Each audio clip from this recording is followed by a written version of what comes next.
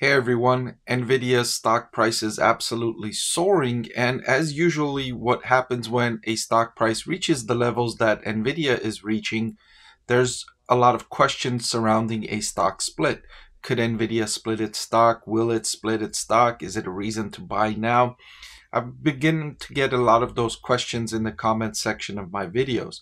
So I'll answer in this video whether or not I think NVIDIA should split its stock or if it's going to split its stock. But remember, I've had NVIDIA stock recommended as a top stock to buy for a while now. In fact, it's one of my top stocks to buy in 2024.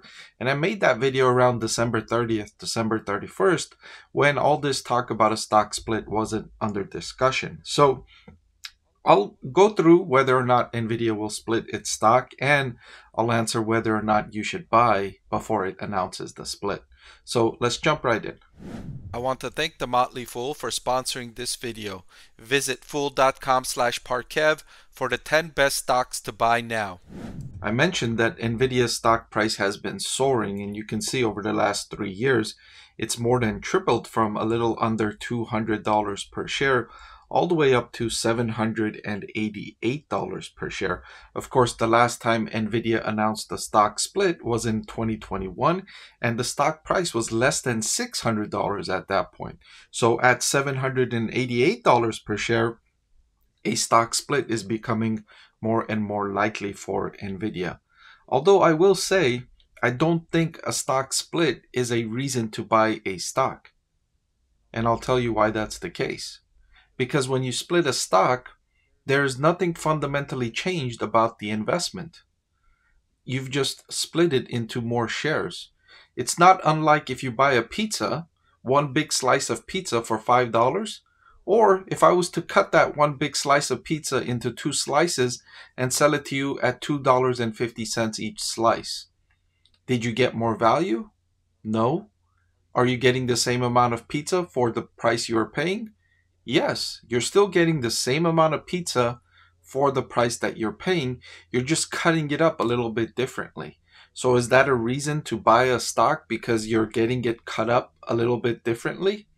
I don't think so. And I've never thought that to be the case. And I've mentioned this with all of the videos I've done about stock splits.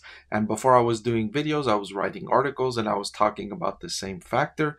And when I teach intermediate and beginning corporate finance at university, I tell my students the same thing. And all the students seem to be shocked that all that's happening in a stock split is a stock is getting sliced up into more pieces and nothing is fundamentally changing. And they always ask the question, well, why does it create so much enthusiasm? Why does it create so much hype? And why do so many people want to buy a stock when it creates a stock split?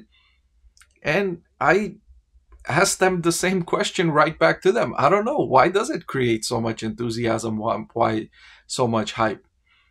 It's sometimes coming from a thought that maybe you're getting a better value because you're paying a lower price. For instance, right now, NVIDIA is at $788 per share. Imagine it does a 10 for 1 split and it becomes $78 per share investors could start to think, wow, I can buy Nvidia at $78 per share now when it used to be seven, $788 per share. And so now it must be a great value because the share price is so much lower. But they failed to follow up and remember that they're also getting one tenth of what they were getting before. They're one tenth of what you were getting before. So imagine buying a whole pizza for $788 versus buying just one tenth of that pizza for $78. You're not getting better value, you're just getting less pizza. And of course, you're going to pay a lower price for less pizza. Now, then I hear the argument well, it makes the stock price more affordable for more investors. Yeah, that's partly true, but you're beginning to see more and more brokerages are offering fractional share buying. In fact, here from uh, the Motley Fool's Ascent, they have five brokerages that offer fractional share investing, including Robinhood, SoFi, Fidelity, Charles Schwab, and Cash App, allow you to buy fractional shares. So you could buy a fraction of NVIDIA stock anyways. If you wanted to spend $75 on NVIDIA stock, you could buy $75 worth of NVIDIA stock and you would get a fraction of a share. the same as you would get if you were buying one tenth of the Nvidia stock. So fundamentally, nothing is changing when a stock does a split. And that's what I've been repeating over and over with these stock split uh, videos and companies that do a stock split and all that.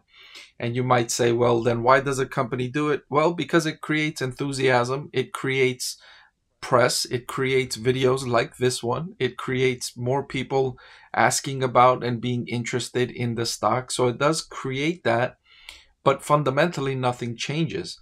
And so that's why I've been saying. Now, don't take this to mean that I don't like NVIDIA stock. Like I mentioned in the beginning of the video, I had recommended NVIDIA stock as one of my top stocks to buy, but not because it's going to split or its potential split, right? Just because of the underlying value that you're getting in the business, and you're getting a lot. And I'll share that with you here. So, when you're measuring on a price to earnings forward ratio, now you're measuring what you're getting in return for the price that you're paying. Okay. You're not just looking at the market price, you're looking at what you're getting in return, which isn't that how everyone shops, anyways? When you go to a store, aren't you always evaluating what you're getting for the price that you're paying? Aren't you always willing to pay more for a 12 pack of soda versus just a single can of soda? Right? So you want to look at what you're getting in return, and you're getting a lot in return for what you're paying for NVIDIA stock. You can see NVIDIA is trading at a forward price to earnings of 26.95, and I've brought some of the large cap valuation companies here for comparison. For instance, with Tesla, you're paying a forward price to earnings of 43.62 which is more expensive than all of these other three companies that you're looking at here uh, including NVIDIA, which is at 26.95, Microsoft, which is trading at a forward PE of 30.84, and Apple, which is trading at a forward PE of 25.47. So, out of these large cap companies, NVIDIA is among right there on the cheaper end of these four companies. So, what you're getting in return is a pretty good value for NVIDIA stock, especially if you dig deeper and you look at the fundamentals of the company, here I have NVIDIA's operating profit margin for the last five years.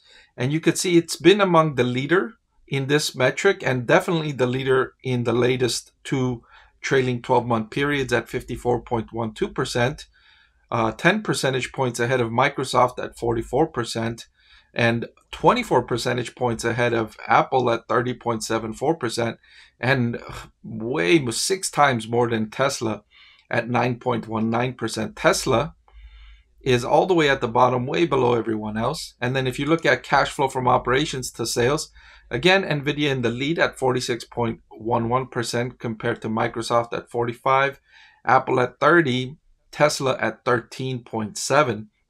And interestingly, Tesla is the most expensive, while its fundamental prospects are the worst among these four companies.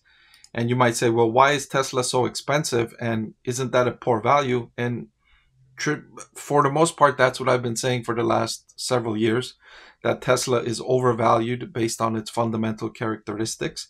And there's a lot of hope and enthusiasm around Tesla stock, which is having it trade at premium valuations, and you're not getting a lot in return compare that to NVIDIA, you're getting the best in class in terms of these large tech companies, in terms of these critical metrics, and you're paying one of the lower valuations. So, for all those reasons, I've had NVIDIA stock rated as one of my top stocks to buy, and it's still one of my top stocks to buy. If it does or doesn't do a stock split, it's not going to change my recommendation one bit, not at all. Whether it does or doesn't factor in in any way, shape, or form to my recommendation for NVIDIA stock. It's going to create this short term enthusiasm, and the price might jump because of that, but then it'll come back down within a short amount of time, adjusting to the price and the value characteristics that the company offers. Those short term boosts in share price related to a stock split announcement or uh, anything like that typically go away after a certain amount of time. So I'm not counting on that for a reason to buy Nvidia stock. Instead, I'm counting on the fundamental characteristics of the business, the strong revenue, profit, and cash flow growth driven by the rising demand from artificial intelligence. That's why I recommend Nvidia stock as a buy, not because of a stock split. Before I let you go, let me tell you about the greatest deal on YouTube. With just a click of a button, you can get free financial analysis from a professor with decades of investing experience. So what are you waiting for? Hit that subscribe button and I'll see you again soon.